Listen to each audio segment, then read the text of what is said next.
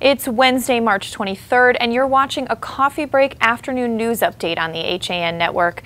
I'm Kate Chaplinsky. We have the latest on a New Canaan story that we've been following. Police Chief Leon Krolikowski reports that a shooting fatality yesterday in town was a suicide, and that person has been identified as 41-year-old Heather Sturtz of Briarwood, New York. Krolikowski said that on Tuesday, March 22nd at about 1.30 in the afternoon, the department received a call that an individual later identified as Heather Sturtz, age 41, was armed with a handgun and was threatening suicide Sturtz was reported to be on the property of a private residence located at 721 North Wilton Road. Arriving officers located Sturtz and found that she had a single gunshot wound. She was treated at the scene but did not survive. Further investigation determined that this incident is a suicide. However, that finding is contingent on receiving a report from the Connecticut Chief Medical Examiner's Office.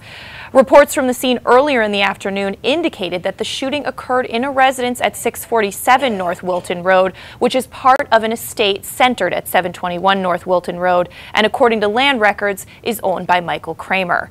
The property has an overall appraised value of over $14 million, according to records.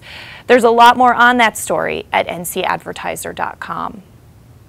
And in other news today, an impromptu memorial has sprung up in Monroe on Garter Road in the days since 19-year-old Sarah Squinabalt died in a one-vehicle crash last week, as dozens of friends have come to the site to pay their respects. On social media and in person, people have begun to wonder about the safety of the narrow dirt road strewn with loose gravel and with trees and a dirt embankment right at the edge of the road. One man who had traveled all the way from Colorado to pay his respects remarked that the road was barely wide enough for two cars to pass each other. Squinabalt died last Tuesday when the 2004 GMC Envoy she was driving left the roadway and rolled over in the vicinity of 295 Garter Road at about 940 at night. She was ejected from the vehicle, according to police. Friends remembered her on social media as a beautiful and genuine person who was passionate about music and animals. In fact, Bridgeport-based nonprofit animal agency A Hand for a Paw posted on Facebook that the group had received numerous donations in Squinabalt's memory.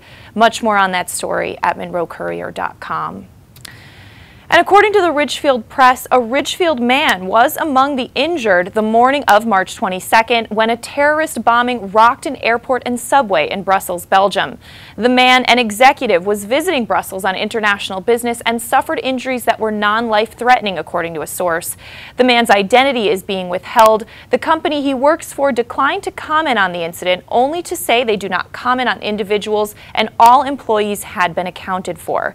The Islamic State has claimed responsibility responsibility for the Brussels attacks, and President Barack Obama pledged to do whatever is necessary to help Belgian authorities seek justice. And in Stratford, the uproar caused by the trapping and killing of beavers in Roosevelt Forest will prompt the forest commissioners to call for a ban on trapping.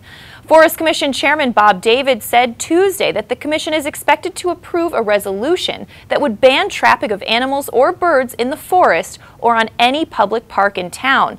The commission will vote on that measure at its meeting tonight at Town Hall. The resolution would also call for the creation of a nuisance wildlife subcommittee to create long-term wildlife management plan to preserve the forest for safe and enjoyable usage by all residents. David said Tuesday that he and town officials consulted with the Humane Society of the United States to develop a plan so beavers and humans can coexist. The ban comes after the Forest Commission voted recently to set traps to stop the beavers who had built a dam in Pumpkin Ground Brook. Town officials said the dam had created flooding concerns for residents living nearby. So far, two beavers have been caught and killed in the traps that were set, according to Public Safety Director Larry Ciccarelli. The remaining traps that are in place will be removed tonight.